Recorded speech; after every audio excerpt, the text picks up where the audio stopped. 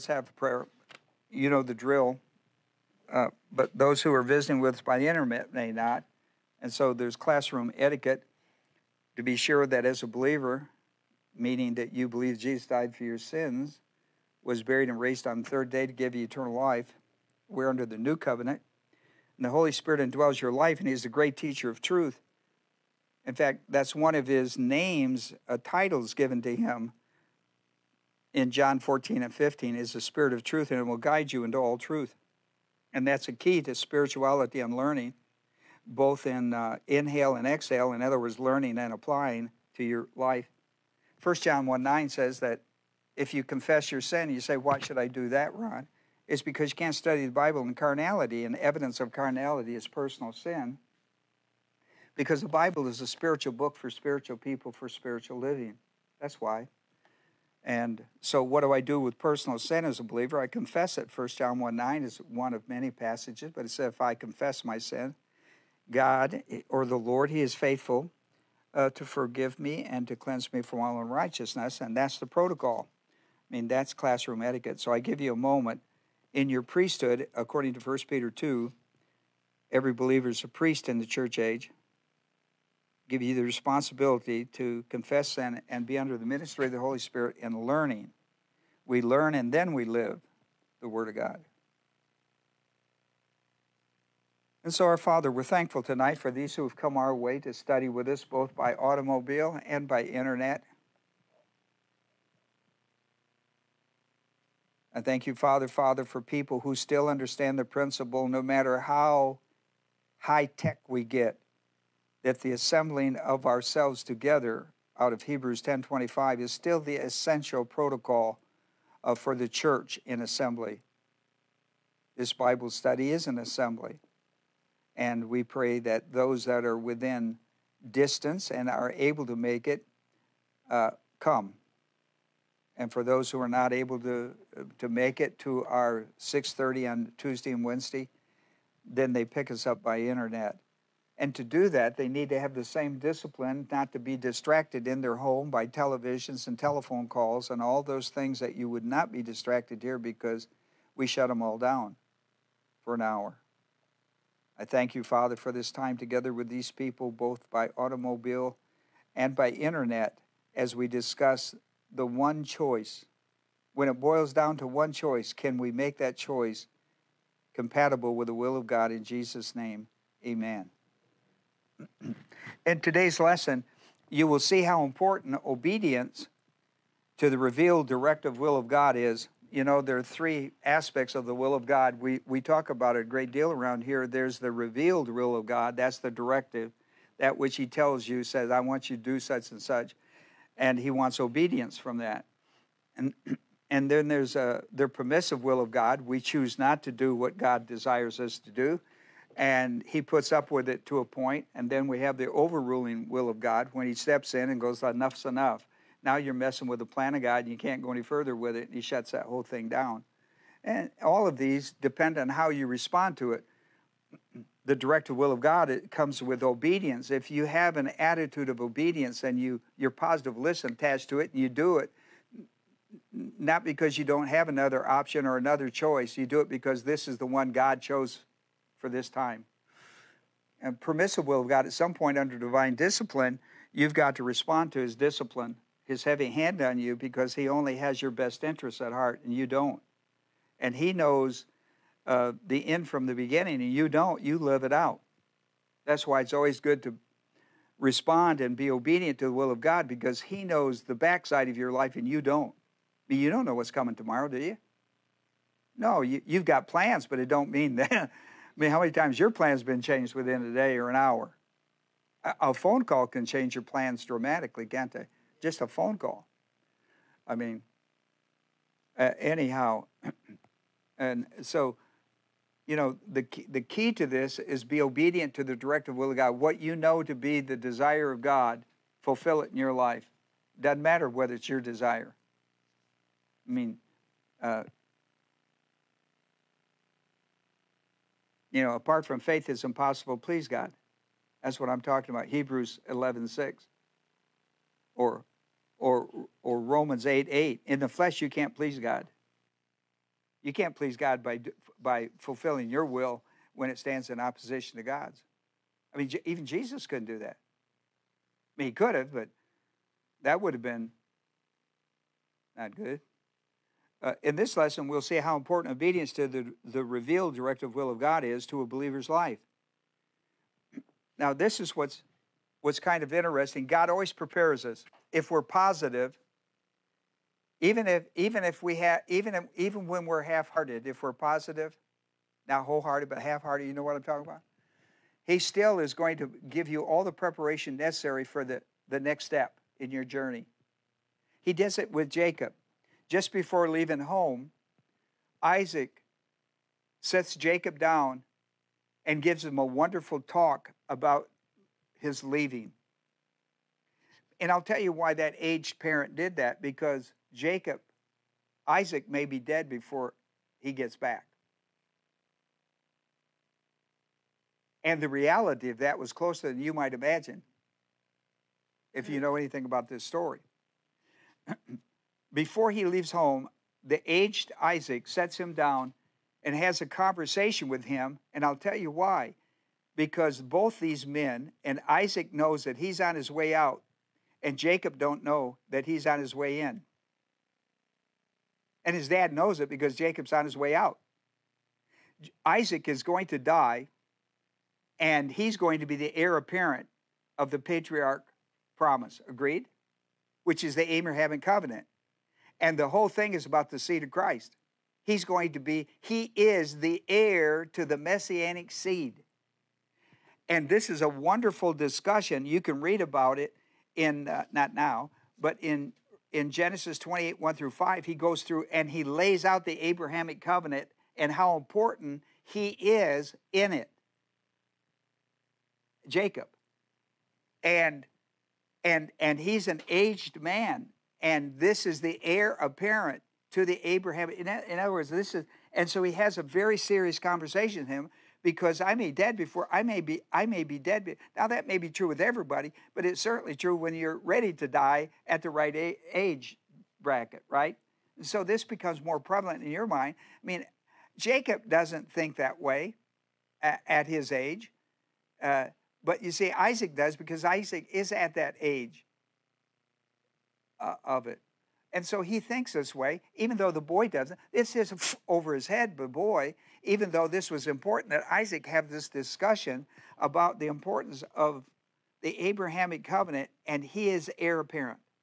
Okay, so they have this wonderful, now this is really important to this whole lesson. Now, did you get what I just said? He has this great discussion about the Abrahamic covenant and the messianic seed and how he's heir apparent. Got it? I mean, it's a, and it's a wonderful. When you read it, it was heavy. I mean, the old man really. I mean, this is like a deathbed kind of discussion with him. Okay. In this lesson, you will understand how important it is to pay attention when God eliminates all the choices but one, because it's exactly what's going to happen. He has this big discussion. You're the heir of the messianic seed. Through you, the messianic seed is going to come. That was the big message. You got that? Oh, yeah. That's a big message. You know, it's the seed, the land, the blessing. And he talks about all that. All right. And he's going to get a wife. I mean, he's going to leave, but his one of the purposes is to find a wife there, right? The, the, the parents lay this out for him. You know, come back, but come back with a bride. Okay. And listen, Isaac would have probably said to him, Listen, it turned out good for me, son. This, is, this was one of the best decisions my dad ever made for me. And if you study, and we have uh, the servant of Abraham that went out and got that got that uh, bride, got Rebecca. He prayed all the way about that thing. I mean, he prayed, prayed, prayed, prayed that that lady into Isaac's life. It's the darndest thing. It's a great story. Uh, but anyhow, so we're going to look at four things about how God can eliminate to help you make one choice. God just keeps eliminating all kinds of things in Jacob's life to boil it down to one choice. And uh, we'll see how that goes. Point number one I got four points. Just prior to arriving in Mesopotamia, now this is really important. Just, just before arriving in Mesopotamia of Haran, just before getting there, the last stop on the way, the last rest stop on his way, Jacob experienced the revealed directive will of God delivered by a, a theophany. That's an appearance of God in some form. And this is very famous. Everybody knows this, but they don't pay any attention to it. It's what's called Jacob's ladder. You remember Jacob's ladder? It, it, listen, if you've had any kids, you know Jacob's ladder. Right? I mean, it, this is a very, Jacob, the children, this is one of the children's stories that's way above their head, but they love it because of Jacob's ladder. Climbing up Jacob's ladder. You know it. All right? This is, this is it. When he stops at this rest area, rest area he, he has an epiphany, he has a, a, a revelation given by God, a theophany. A theophany is as big as it gets under the old covenant. That's as big as it gets. All right? So this is Jacob's ladder is a big deal, and he the next stop he's going to be is in Haran, right? I mean, he, this is the last stop before he winds up with the family he's going to see. And, and he's going to name this spot Bethel, which is the house of God. The L on the end of that is God, and Beth is the Hebrew word for house. It's the house of God, Bethel. He's going to name it because of the experience of the theophany. He's going to call this the place where I met God. The a place where I met I, I came to fa- I came face to face with God. Bethel and he's going to call it the house of God. He's going to name this place the house of God. It's going to listen. It's forever famous. I mean, what what happened here is forever famous. Now, I want you to in 2815, I pulled a, an, an, uh, part of what God spoke to him about. Now, this is a long passage. I pull one verse out to, to show you what was a highlight to Jacob. Uh, and this, this becomes the personal revealed directive will. Behold, listen to what God says to him. Now, he goes through the whole Abrahamic covenant with him. He goes through the same Shemo that Isaac went with him before he left. Do you understand? now it's God telling him the same thing his father told him that God told him. Do you understand? You're heir apparent. God shows up and says, You're heir apparent. Are you with me? This before he ever, listen to me, how important is it? Before he ever gets to Laban's house and meets the girls. Behold, I am with you, and I will keep you wherever you go. Uh, you know, you know what we say? We say, uh, God will never leave you nor forsake you. This is it. This is what he's telling them. I am with you. I will keep you wherever you go. Look at, look at what God says I will. That's promises. Here's what I'll do for you. That we call them promises. I will keep you wherever you go. I will be with you and I will keep you. I will guard you. I will guard your steps wherever you go, and you and will bring you back to this land. That's Abrahamic covenant. For I will not leave you until I have done what I have promised you. Now, wow. Is that important? That is so important that God is going to eliminate all of his choices out here so he can stay focused because that's what he told him he would do. I will be with you, I will direct you in, in the ways you should go, is what he's basically saying. Now, why is this important to you and I? Because we have Romans 4.21, that whatever God's promised you, he is able to, to perform it. Not going to leave you shortchanged. Now, he may eliminate a lot of options because they're, they're bad choices that you're thinking about making, so he just takes them out of it, out of the element, boils it down to one. Now, you, you may not choose that one. Now you're in hot water. Right? I mean, you're, you've put yourself in hot water, right? It's not that God's going to put you there. You put yourself there. If you, when He boils everything down to one choice and you don't take that one choice, you're in hot water. You know what I mean? I, I hope so, but because sometimes I use illustrations that don't make sense to people like hot water. okay, Here, here's the second thing. So this is really important. Now he's had, he's had two very important meetings with people that's very important in the plan of God. Are you with me? Here's point two. After leaving Bethel, Jacob arrives at Haran and uh, to the home of Laban. That's Rebekah's brother. And there he meets Rachel, and it was love at first sight. You've heard of love at first sight? Well, look, look what I told you about love at first sight. I'm not opposed to the idea, but love can be blind. Right? You can't tell a 16 year old that, but you can tell a 66 year old that who's gone through a few of these. Love can be blind if it isn't compatible with the will of God. Because blind, 2 Corinthians 4 3 and 4, blind is all about the devil. God reveals light, He, re- he keeps you in the dark. He always keeps you in the dark. He always keeps you in the dark. God always keeps you in the light. Please understand that. There is great danger in love at first sight rather than faith, right? For the Bible says we walk by faith, not by sight.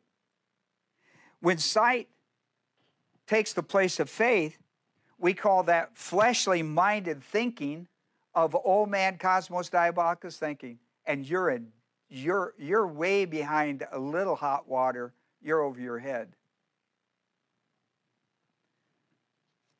And listen, you won't, you don't realize that when you're making these choices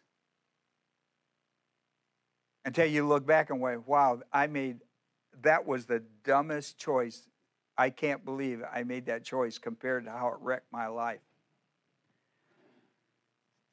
When sight takes the place of faith, it is what the Bible calls fleshly minded thinking of old man cosmos diabolic. For the mind, listen, listen to Romans 8, 6 through 8. The mind set on the flesh is death. That's temporal death. We've talked about that. But the mind set on the spirit is life and peace. See, you have a choice. Who's setting the mind here? You are. You can set it here or you can set it there, and the outcomes are going to be different. What a man sows, he reaps. That's a principle. That's a basic principle of life. Even unbelievers understand that. After a couple sowing and reaping destruction, they don't know it. The mindset on the flesh is death, the mindset on the spirit is life and peace because the mindset on the flesh is hostile towards God. Now, it may not appear that way, but the, all decisions are moving away from God, not towards Him. That's how you know. Are the decisions you're making taking you closer to God or farther away from Him? Oh, well, uh, that's not going to be good, right? You don't have to have a lot of theology to talk to somebody about those choices. I mean, are you moving you deeper into the woods, or are you getting further out of the woods? So he said, but the mindset on the spirit's life beat the mindset on the flesh is hostile towards God. Now watch. It does not subject itself to the law of God. That, that's that revealed word that says this is the will of God. And once it is revealed to me, it, it becomes law. You understand? It becomes law. For it is not even able to do so. It does not subject itself to the law of God. It is not even able to do so. And those who are in the flesh cannot please God. So that's, you know, you say to Jacob, have you checked her? I know you've checked her form out, but if you checked her soul, where is she spiritually?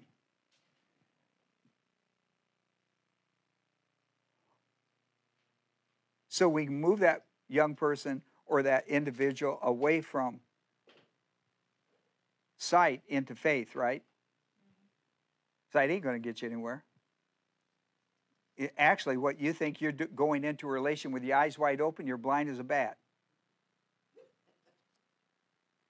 Yeah, once you once you give up the whole faith base uh, to maneuver and manipulate and do this and do that, you're going to wind up, listen, what you sow, you reap. How do I know when this is true in my life? You know when you are no longer willing to adjust your desires to the directive will of God. You don't have to listen when you're manipulating and doing all these things, manipulating people and working them and doing all that thing. You don't do that with God. You try that with God, and He'll go like, "You kidding me?" Listen, you know when you are no longer willing to adjust your desires to the directive will of God. That's how you know you're out in the toolies. Yeah. Well, we're all there. It don't matter what age you are. I mean, people in the adult over over the hill that are living this way. Listen, I hear this so much. I hear this from all ages, so it's not just kids that do this. I know it's wrong, but I'm going to do it anyway. Well, get your, I, here's what I say then get your crying towel out. Get your crying towel, strap it to your hip, because you're going to need it. Because it ain't going to go well. I know it's wrong. Listen, that's the first clip. When I hear somebody say, when they describe it, they say it's wrong, and I say, well, what do you mean wrong? I finally, they finally confess what they mean by wrong. It's actually sin. And the first, listen, they've already been deceived to call it wrong. It is so far beyond wrong. It is wrong. I made a wrong turn. I'll do a U and get back. What are you talking about? This is not wrong when they say that. And I, I may, and when I counsel, I make them call it sin. I'm not going to, I'm not listening to you as long as you keep calling it by names it isn't. It's so far beyond wrong. A person died for what you call wrong, a person died for, died a cruel, horrible death on a cross for what you call wrong. Hebrews 3.13 tells you this is the deceitfulness of sin. Hebrews 13, 13. I mean 3.13. Yeah, it's on your paper.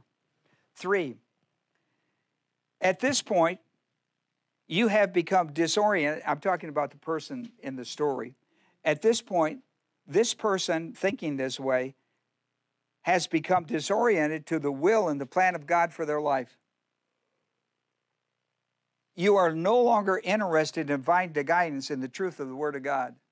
You've turned your back on that to play this stupid game that what you sow, you will reap, and you're in destruction. You're in the destruction lane, not construction, destruction. You ought to be in the construction lane to get something good out of this, but you're in the destruction lane. Nothing good is going to come out of that. Which you sow, you reap, and when you sow to the flesh, you'll reap destruction, not construction. John 8 32, Jesus said, You will know the truth, that's what you get from the revealed will of God. You will know the truth, and the truth will make you free. And when you go against it, you'll put yourself into bondage to the guy who's pushing the other agenda. That's the devil. He is in opposition to God and tries to get you at every turn to go in opposition to Him, Eh, to go in opposition to God. This, this believer is no longer committed doing the will of God, listen to me, wholeheartedly. I can't tell you how important it is for you to know in your life the difference between half hearted and wholehearted. And I don't care if you're in a relationship in your marriage or in your family or in your church or with God, half hearted is no hearted. It's it, because it's about commitment. Are you in or are you out? You can't be half in. Are you half in the car or are you all the way in the car? A guy who's only half in the car has got a bad ride ahead of him. Right? Well, you can ride that way if you want, son, but well, you, listen, you can't even permit somebody to ride that way. They'll pull you over and give you a ticket. I mean, it is beyond the law of common sense. You can't half-hearted in anything. You, listen, you, listen. I, I didn't have a coach. Coach would he would have gave up the whole football team to have anybody on his team. He wouldn't allow anybody to play half-hearted, and I'm so thankful for that. Who allows anybody to play half-hearted? Half-hearted wins nothing wins nothing. I don't care how good an athlete you are, wins nothing. Don't matter you make 100 yards a game if you lose all your games. What's the what's the deal with there when it takes takes a whole team to win ball games? It doesn't take one person to win a ball game. Listen, I see people who are half-hearted eh, in their marriage, they're half-hearted in their business, they're half-hearted in their church, Half-hearted doesn't work. It's not part, I don't care if you've been born again, half-hearted does not work in the kingdom. Wholehearted. If you study, I'll tell you a good study. Look up the word wholehearted, wholehearted, and read that. And then, then once you understand what God calls wholehearted, now you understand wholehearted from half-hearted. We live with half-hearted people. They just they're. They... When I was in the army, if you were half-hearted, the sergeant would tell you what half hearted was, and he said, I'm going to leave the rest of you to decide how you're going to deal with these people in your barracks or on your squad who are doing half hearted because in the morning we're all going to do yada yada if it's not if it's not cleaned up. And he would punish everybody for one guy, he would punish every guy for one guy who did something half hearted because it put everybody in jeopardy in, in the military. That was the lesson. And uh, listen, he would go, he would say, I'm leaving it with you, gentlemen, or in the morning. I can't tell you how he phrased this, but it would not go well for you. And listen, we had a we had a little military meeting.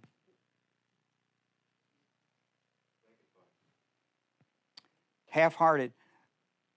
I love the story of Caleb. Caleb is one of my favorite guys of all guys in the Bible is Caleb. I put this down for later for you to read. Joshua 14 and 15 is a wonderful read. But here's, here is Caleb, and you know Caleb. He comes out of Egypt under the leadership of Moses. Over 600,000 strong soldiers, military type men. You understand? I don't mean they've been trained in military. I mean they're all they're all of legal age and ability to be to fight militarily. Over 600. That means probably 2 million came out. We just count, they only count men that were military age. Didn't count those younger than military age, didn't count older than military age. Just military age, over 600,000, which puts us at about 2 million. Caleb was one of these guys. He was from the tribe of Judah. And he comes out. He's excited about going to the promised land. And when it comes, when they get to the border, and the 12 tribes uh, select a man to represent their tribe to be sent out to spy the land and to, to look at reconnaissance, he was one. He was the one guy chosen from the great tribe of Judah. It was a guy called Caleb. He was 40 years old. And, and the other man next to him, about that same age, was a guy called Joshua. And the 12 guys went out. You know the story about the 12 spies. And they came back with a report. These were the only two guys that came back with a positive report that said, You'll not believe what God is about to give us. I mean, the grapes are bigger than uh, wash pots and, you know, all that stuff. And, uh, and uh, you, you know, well, it got voted down. The two guys gave their argument as strong as they could on behalf of God. He said, Look, this is a piece of cake. And uh, we can take the fortified city, we can do it all. But I'm, I'm, telling you, the prize at the end of the battle, the prize is so great, you're not going to believe it. And uh, listen, the same God that took us out of Egypt and took us through the Red Sea will take us through this land. I mean, this is what we've come by promise. And of course, they got voted down. Got voted down. No vision. Listen, when you don't have a vision in your heart that God, if, if God don't put a vision for his work in your heart, then your combat boots, you never wear them because you don't know what purpose in life you have with them. You'll never put the full armor of God. You listen to the story of the full armor of God, you never put it on. You never put it on. You know why? Because it's every day. It's every day. It's not, it's not when you get in a, a pinch that you put it on. You put it on every day. It's, it's common hardware. Caleb was a guy who wore it every day, put it on every day, always wears combat boots, ready for warfare. You know, the angelic conflict goes every day whether you're barefooted or have your shoes on. You know, God says, put your combat shoes on. Put your combat boots on every day, put them on. Pick up the sword every day, pick up the sword of the Word of God. And the only people that do it on a consistent basis, people who have a vision of what God wants wants from their life in their to their generation. If you don't if you don't buy into that, then you're, you're not going to wear this armor. I mean, you say you're in the military, you say you're a soldier of the Lord. I'm in the Lord's army. But you're not because you're never ready to fight. You don't have the vision. See, Isaac is trying to put the vision, a vision of God, the vision that God has for the patriarch into the life of this young man, Isaac. And he tried to put it, listen, Moses had a difficult task trying to put that vision in the hearts of the people whose heart was always half hearted. They were always going back to Egypt with one half their heart and moving very slowly forward with God because they didn't have a vision. These two guys went out, they came back with a vision they had when they left Egypt. You understand? At some point, you have to get, you have to buy into this stuff. You have to buy in. An issue, you know, so you, coach, he, you, you, sign up for football, he issues you equipment. It, you're not worthy to wear it. You know what he does? He takes it back. He says, go find something else to play, son. You don't have a heart for this game, right? And, he, and listen, that's a good thing for the kid and good for the, co- the coach. You put a kid like that on your team, he'll spoil it. Oh, he's sitting around whining, and sucking his thumb. and Everybody wants to beat him up. Eh, this is, the, this is what the church has become. We're, we're, we're people without a vision for God's work. Without a vision for God's work. We don't know, have a, listen, everybody in this room, we all have the same vision. We have different roles in it, but we all have the same vision. Let's reach the world with the gospel of Christ. Let's grow spiritually and minister out of us. Listen, if the ministry is not going out of you, it's not going in you.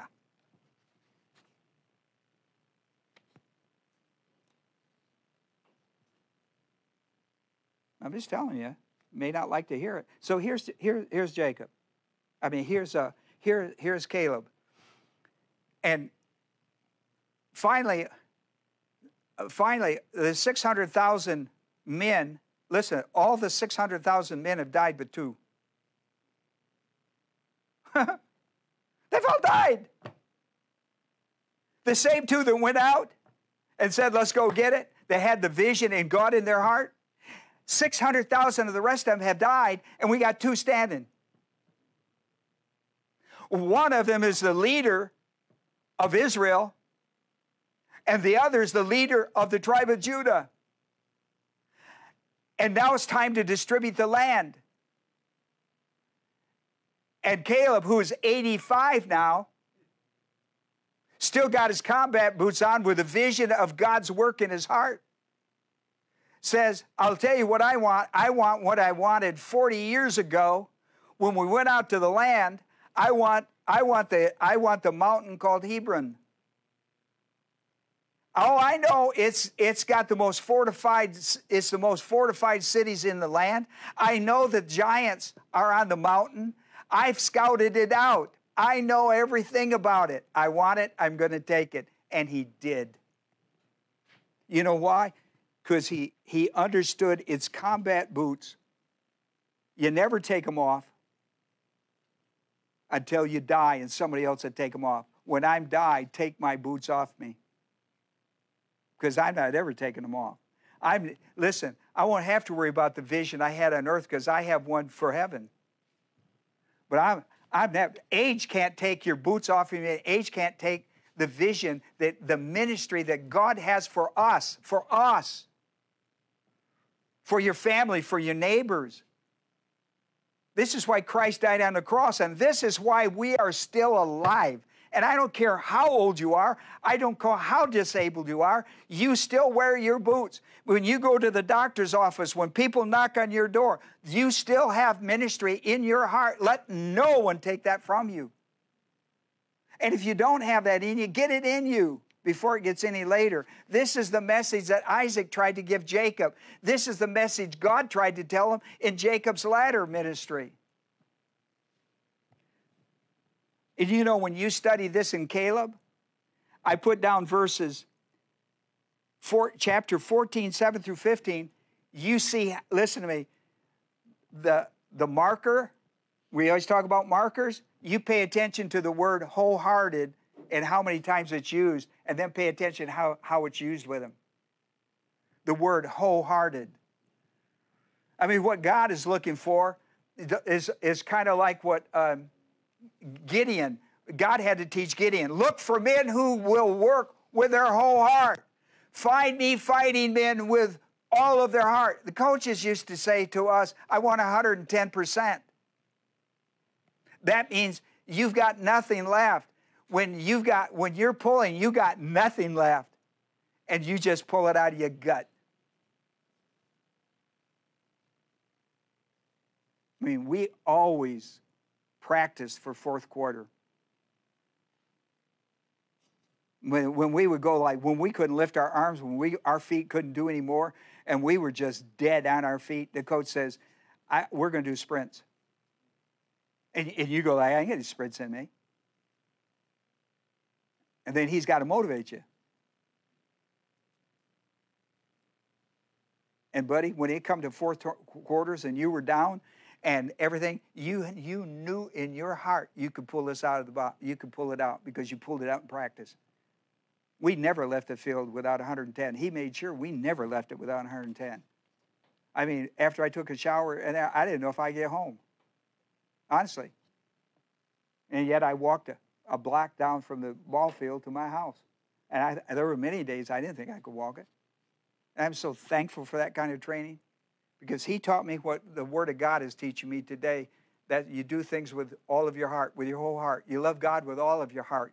You, you love it, your, your mate in your marriage with all of your heart. You love your church with all of your heart. You love the world with all of your heart. I mean, anything less than that, anything less than that is not acceptable. I didn't say it was easy, I just said it was unacceptable. And, and, and Caleb is one of those great reminders to me. 85, still wearing his boots, still has a vision of what God wants out of his life. He's, he, it don't matter, he's in the fourth quarter. Well, you're 85. I don't care. I'm in the fourth quarter. This, this is the fourth quarter. This is the fourth quarter in life. 85 is the fourth quarter. It's not the end. You're in the fourth quarter. You're looking at 120. What are you talking about? Listen, you're in the fourth quarter. You what? You're going to quit because you're in the fourth quarter? What? You only a three quarter guy? What? You only have? Listen, I played with guys. Didn't play with them long. They only wanted to play half, half. They played. They played outstanding football the first half. and Wouldn't play second half. It's like when they went in, sat down, they were done. They didn't last long. My coach wouldn't put up with that. Neither would we. Our expectations are too high. Listen, I can't tell you. I, am talking about this stuff because I'm telling you, I believe this is the heart of God. You study the word wholehearted, and you'll come to a whole different conclusion about your life. I know I have. Don't be sitting around talking no foolishness to me about, well, you know, I'm 65 or, oh, Ron, I'm 70. I don't want to hear that foolishness. You're in the fourth quarter. What are you going to do? Hang it up? To take your combat boots off? Where's your vision for what God wants out of your life? Mean, you truck along till you till, till you die. Somebody else takes your boots off. And you, uh, without faith, it's impossible to please God. For he who comes to God must believe that he is. Now, watch this. We read this all the time in Hebrews 6, 11, 6, but here's the reality in your life. Without faith, it's impossible to please Him. There's your vision. For he who comes to God must believe. See, that's your, that's your personal responsibility and a commitment that God is and that he is a rewarder of those who seek him. That's the deal. That's the deal. Without faith. Uh, faith is what breeds everything into your life. Faith. Faith in God, faith in yourself. For when God reduces our choices to one, it becomes especially important to the believer's life in the plan of God. When he goes to the trouble to eliminate all the choices, God has done a great favor to you. And it's boiled down to one, so this is easy for you. Right? Look, teacher says we're going to have one question on the test. It's multiple choice. I'm going to take, it's three, A, B, and C. I'm going to take A and B off. Right? That's exactly what God does. That's exactly what God does. It's exactly what God does. It's exactly what God did with Jacob. When Jacob got married, he got married to one because God eliminated all the other choices. He would have never eliminated him, so God had to eliminate him for him. So that when he woke up the next morning, he had one wife. It wasn't the one he wanted, it was the one God gave him. Because God eliminated all the choices. He made this very easy. And I saw you all laugh when I said, we're going to, one test, a multiple choice, three, A, B, and C, and I'm going to take A and B off. That's just exactly what God does in our life. And we still miss it. We still miss it. We write in a multiple choice, take two out of three off, and we write the answer in. That's wrong. That's exactly what Jacob did. That's exactly what Jacob did. How do I know that for sure? Because I know that Leah was the mother uh, uh, in, with, with Jacob in the messianic lineage. That's how I know. That's the proof in the pudding, as they say. When God boils it down in your life, the choices are gone but one. Be smart. Don't do no write ins. It's not. I mean, he's done the best he can with multiple choices, took them away. There it is. Boom. Do not write in. Well, here's what I think. I took it away from that. This is not what I think. This is, you're not going to write me a paper on it. It's multiple choice. And there it is. And I took all the choices away but one. Come on, Bubba. You are going to college, aren't you? I don't know. I don't know. When God reduces it to one, listen to me, it is still the directive will of God no matter how much you reject it or run away from it. Still the will of God. When it boils down to one, you may not like that one idea. Look at Jonah. Here's the directive will of God. I wrote it on your paper. He says to him, I want you to go to Nineveh and I want you to preach to it. And I want you, right? You know the story of Jonah. Go to the great city of Nineveh and preach against it because its wickedness have come up before me. You'd think he'd have loved that assignment. Except he knows the heart of God. He knows that God is not willing that any perish, but all would come to repentance. He didn't like that idea. This is, this is the directive will of God. I want you to go to Nineveh, preach the gospel. The people are wicked. Now, he knew they were wicked. They've been wicked against Israel. I mean, this is like being assigned to go to Iran. Listen, little Jew man, I want you to go to Iran and walk through the cities and preach against them. He goes like, I don't think so. Well, Jonah rejects it. He runs as far as he can away from the will of God. Look at You can't run anywhere. You can't run and hide from God. But see, he's he's he has separated two things in his life. Oh, there's God, and then there's the will of God. I'm not really running away from God. I just don't like his will. I still like God. I just don't like his will. That's the kind of foolishness I hear when people come talk to me. Not not you, of course, but others. right? Of course they do to you too, don't they? Of course they do. They tell, they tell you some of the goofiest stuff you ever heard in your life, and you go like, what are you talking about, son? That's stupid. Listen, Jonah rejects it. He runs as far away as he can from the will of God. You can't run. You can't hide from doing the will of God. Adam and Eve couldn't. Right? It didn't matter what they hid behind. God could, you know, God was, they would hide behind the tree and he was behind the tree. I mean, how are you going to hide from God? I mean, he's always one up on you.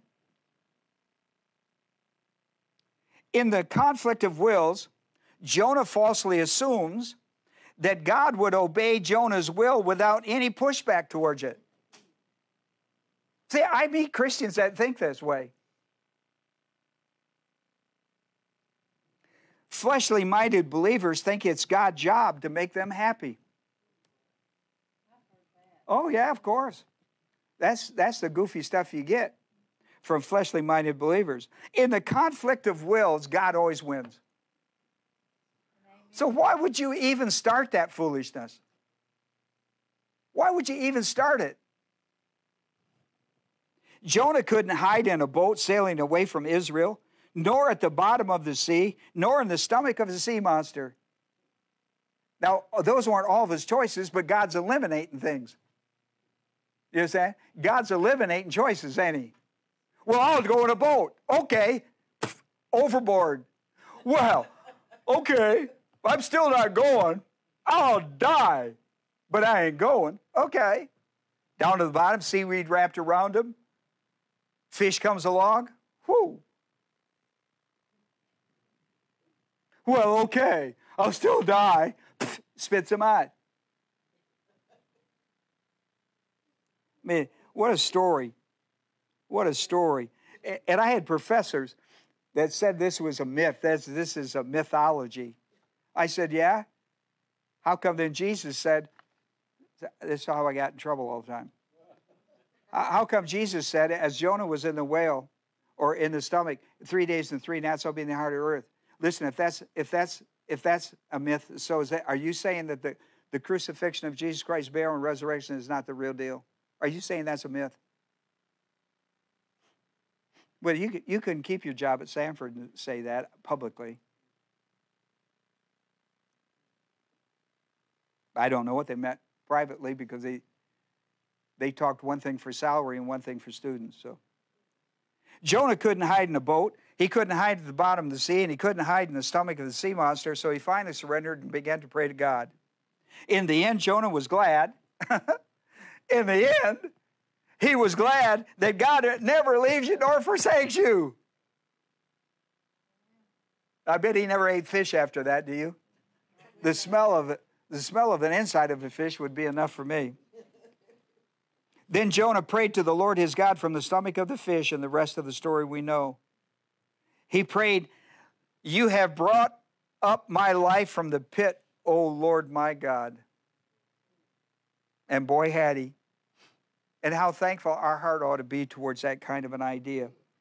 After Jonah returned to God by confession of sin, 1 John 1 9, he still only had one choice. He's gone through all of that. He has put himself through a wringer. And when he gets to the end of it, he gets all done with it. He's still back to that one choice that he had before he left.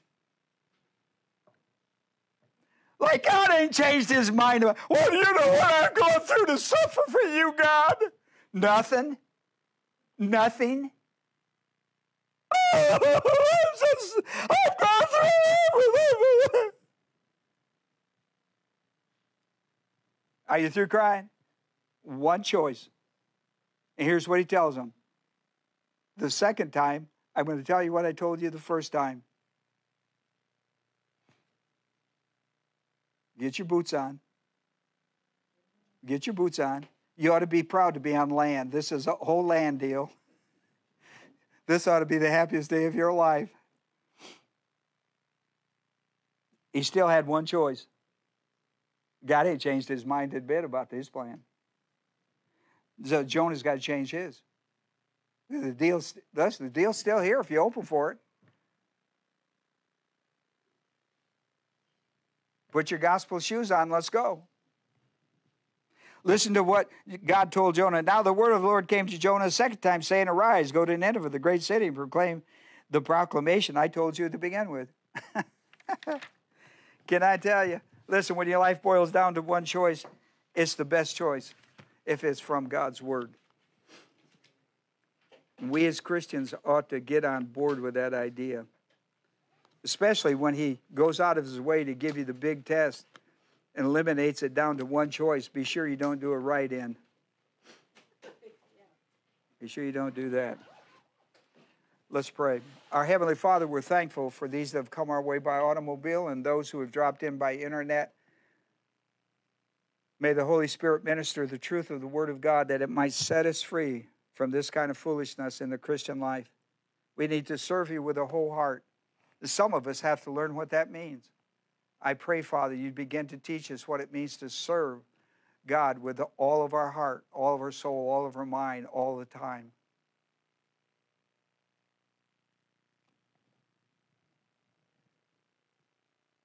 We have the opportunity, Father, to reach a whole world in our generation for Christ, our community, our state, our nation, and the world for Christ. It's our generation that has the responsibility, privilege, and the victory. I pray we would do that in Jesus' name. Amen.